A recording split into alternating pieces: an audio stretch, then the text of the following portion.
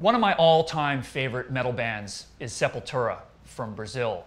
And when I got the opportunity to interview the lead singer Max Cavalera way back in 2006 for Global Metal, it was amazing because after the interview, he invited me to his home in Phoenix, which was the furthest place you could possibly imagine from Brazil.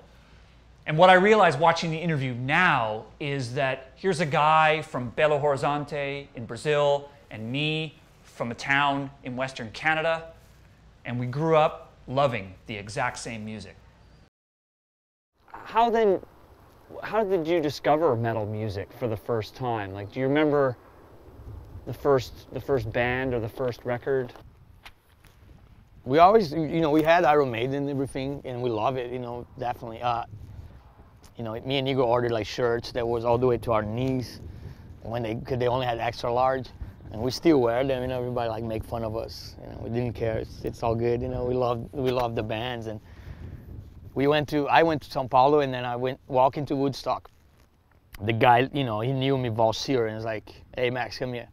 We got this stuff just came in," and it was like I remember, man, it was Voivod, War and Pain, uh, Slayer, Show No Mercy, uh, Venom, Black Metal, and I, I, I fucking looking at these album covers, going, "Wow, what the what the fuck is this, man? You know, I like it already. I haven't even heard anything. I'm already like hooked.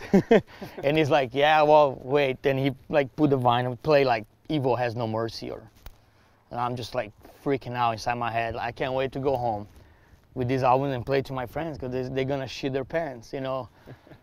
I knew, I knew it was good. I knew it was insane, and it was extreme, and we haven't heard that before. Nobody has heard that.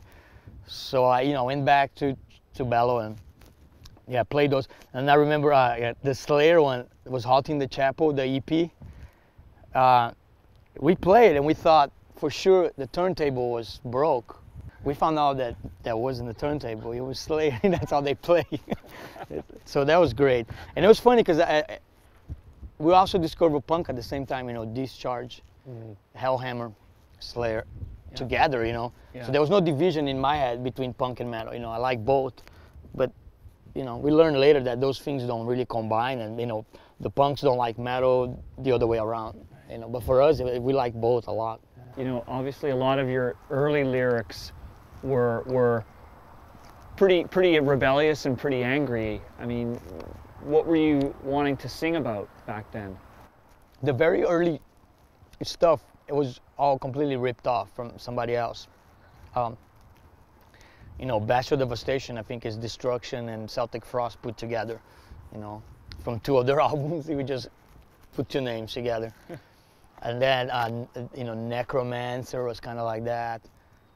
Um, so, yeah, you know, we speak Port, we don't speak English. So I was the one that speak a little more English than the other guys. And I was doing um, translation from dictionary to Portuguese to English and then making the song. So there's a lot of like bad mistakes on those records, like like you know lyrics mistakes, which I think is great. I, really think that's really cool that we didn't change, we didn't new, and we named songs like uh, "The Past Reborn the Storms," which makes no sense in English. You know, later like Monte be like, I think you guys should change the title of the song because you put all the words wrong. You know, so he, he'll tell us how to. so I think we fixed that one, but Everything else was just dictionary shit, man. You know, like just. Yeah. I learned English like that. I yeah. I went to, to English school maybe twice in the school, and I learned just a little bit. But my English came from dictionary and Black Sabbath albums, translating everything. I want to know what those guys were saying. Yeah. So I spent hours and hours with the dictionary in my you know in my room translating, in, including the name Sepultura. It's, it comes from Motorhead, uh, "Dancing on Your Grave" song. Yeah. So so that was cool. You know, that was actually. Uh, educational. I mean, do you think that metal has lost its its its its roots in a way? I think metal is never gonna die because that's the spirit.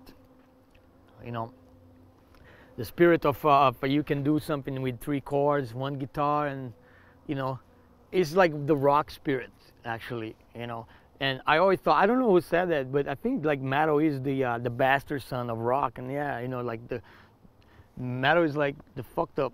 Rock and roll had a bunch of sons, and then the most fucked up one was metal, and his brother was probably punk. but the spirit is always gonna survive, I think. But there'll be trends, and it's gonna go more popular, less popular. But uh, I think that the bands and musician fans know that, and and uh, don't get caught up on it. You know. What is it about metal that you think that all of these people, the kids in Indonesia, the kids in Japan, Brazil, and so on, what is it that they find through this music? Well, I think if we knew, we kind of lose interest. you know, exactly.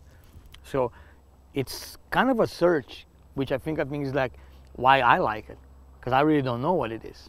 I just know I like it. I don't know why. You know, why does my son already loves metal so much? It's something, man. It's like inside of you. You know, in your heart, blood pumping. Who knows? Maybe it goes back like centuries when you're a Viking and shit. You know, I even believe that. Maybe it was we're like Vikings and shit. That's why we like metal because you got that vibe, that crazy, you know, aggressive vibe. I, I don't know what it is, but um, it's definitely like the, the thing that you have is yours. The goosebump. It's something you, it's yours. You treasure. You know, you share, but it's also yours. You know, when whenever you want it, it's there for you. Everything in life is not secure, but music, it's there anytime you want. So it's an instinct that people from all these different places, I guess, are connecting to. I think, and then we see people come and go. You know, like 90% of my friends that grow up, they couldn't deal with the metal thing. they came in for a little bit, fuck this shit, man. You know, I need a real job and blah blah blah. You know, and the outside looks real fun to be in a band and all that shit. And I think there is a great moment, but it's fucked up as hell to be in a band.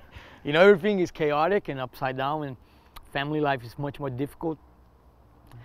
Um, we are very dysfunctional, like because the way it is, you know, like you can't be a normal human being and being in a band. I don't think it works, man. It doesn't work. You know, that's why we are, you know, schizophrenic. You know, I am all those things that people say. Yes, definitely. You know, because it's without that I couldn't be Max. you know, there's no way to really separate them. You know, it's all kind of together, you know. But I wouldn't be anything else, man. This is this is what I like, you know. Chaos. You need the chaos element.